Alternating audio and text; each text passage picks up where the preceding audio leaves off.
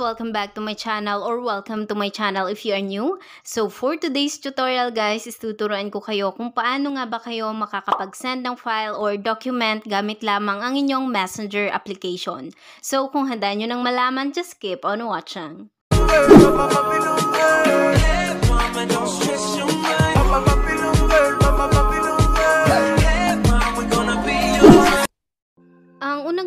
Natin guys is punta lang po tayo sa ating Google Chrome. So, i-click or select lang po natin ito.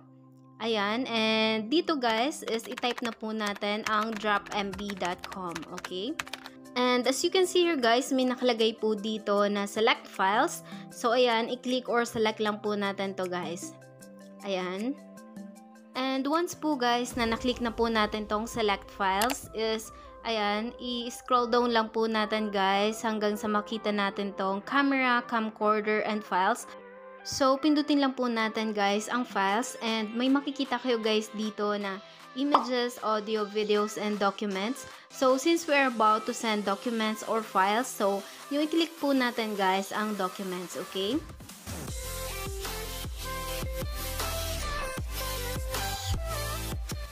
And kapag na-click na po natin guys ang documents is lalabas na po yung mga files na gusto nating isend.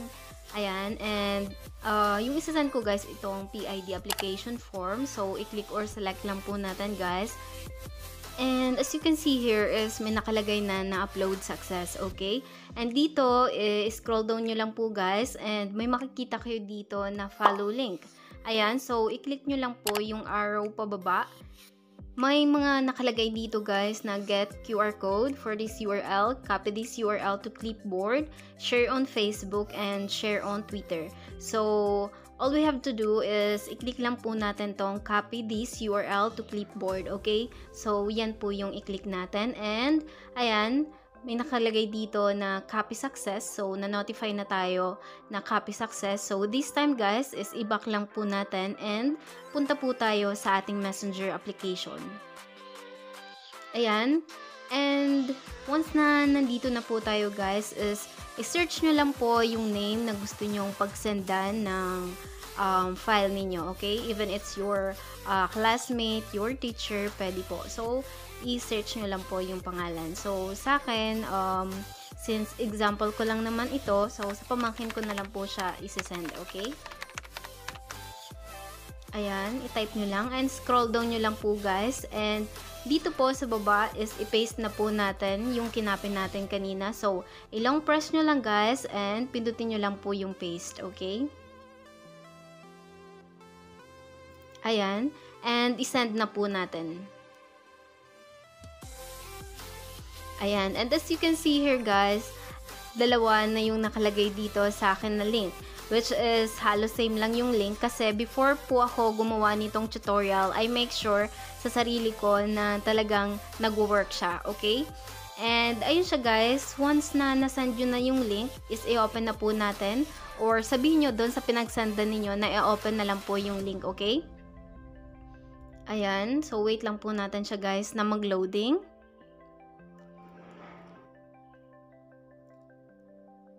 And scroll down lang po natin guys, okay?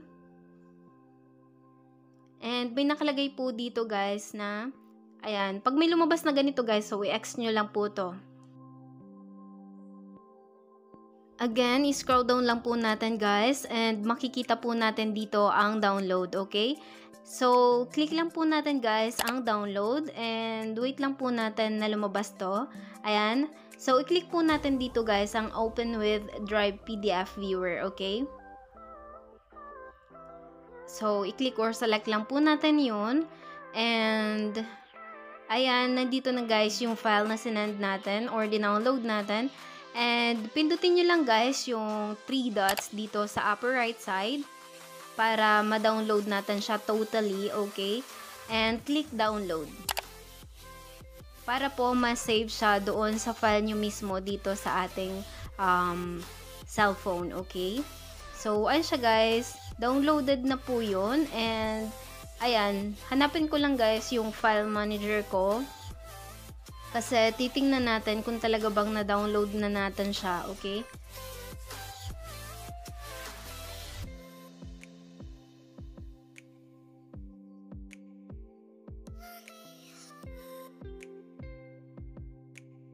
So, ayan, nandito na yung file manager ko. Natagalan ako maghanap kasi ang dami guys ng um, application ko. So, ayun, uh, since din-download natin siya, punta tayo sa download, okay? And since uh, downloaded natin ang documents, so documents po yung i-click natin. Click natin tong documents. And as you can see here guys, pakita ko lang sa inyo yung sinend ko kanina which is ito, na PID application form. So ito po yung laman niya. ba Yun yung sinend natin kanina na example. Ayan. So, i-back lang po natin guys para at least mapakita ko sa inyo na talagang yung file na yon na sinend ko is yun din yung file na na-download ko. So, as you can see here guys, yung date nito, yung isa is 922 and ngayon naman guys, 927. So, ibig sabihin, ngayon lang to kasi ngayon ko lang din dinownload, okay? So, i-click lang po natin guys. So, tada! Ito na guys yung document na sinend at dinownload po natin. So, ganun lang siya guys, kadali. Sobrang laking tulong talaga nito guys because if you don't have yet a Gmail account, pwedeng pwede nyo na tong gamitin para makapag-send kayo guys ng files, ba diba? And syempre, ang kagandahan pa is hindi na kayo nag-download ng iba pang application, ba diba? Para lang uh, mag-send kayo ng file so nakapag-save pa kayo guys ng MB ninyo. So, ayun lang siya guys. Before I end this tutorial is marami pa po tayong tutorial dyan guys. So, ipapakita ko lang po sa inyo. At pwedeng pwede nyo guys panoorin, panoorin at matuto, okay? So dito guys sa aking mga videos is makikita nyo yung mga tutorial ko is more on about online, like online trends, mga ganyan, online transactions. So kung makikita nyo guys dito is meron tayong tutorial sa Facebook, sa Shopee, sa Instagram, sa YouTube, at marami pang iba.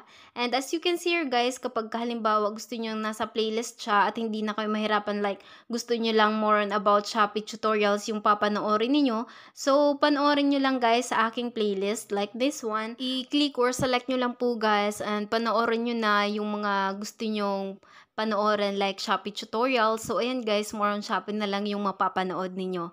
So, ayun lang siya guys. Sana po ay meron po kayong natutunan and please don't forget to subscribe and hit the notification bell para lagi kayong updated sa mga post ko.